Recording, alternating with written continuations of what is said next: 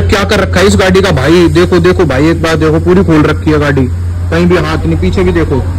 अब ये गाड़ी कौन सी है? ये मेरे को जी वैगन लग रही है, पर ये जी वैगन नहीं है, इसकी एलोए से तो मैं देख लो इसको। अब इसको चलाने पे तो भाई ऐसा फील आ रहा है, बिल्कुल आप देख पा रहे होगे, शायद ये टम्पू वाली